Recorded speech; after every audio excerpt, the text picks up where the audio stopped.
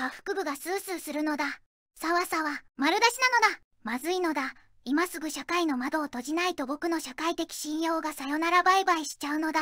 ずんだもんさん手を挙げていますが質問ですか？静かにしてほしいのだ。注目を浴びるとバレるのだ。く一番うるさいのはあなたですよ。閉まらないずんのだだもんさん何がバレるのですか？は反応しちゃったのだ。はダメなのだ。答えるのだ。まあこういう感じで生物は交尾をするんですね。今それで生物の授業でちょうど生殖のところを習ってるのだ。だから余計に反応してはう何が起こったんですか？ずんだもんさん。違うのだ。違うのだ。あいつ絶対興奮してるよね。キモ多い。その発言は僕の性癖に刺さるのだ。ずんだもんのずんだもんしっかり耐えるのだ。何か考えるのだ。僕僕のずんぽが気持ちよすぎるのだ。そういうことじゃないのだ。え？いやなんでもないのだ。ね。机の下なんか見えない。見ちゃダメなのだ手で隠すのだあの隠し方、出してる。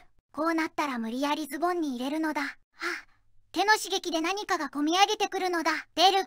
出ちゃう。皆に見られてる気がするのだ。非直プレイは性癖だからやめ。なんで僕が消防車に備え付けられたのだ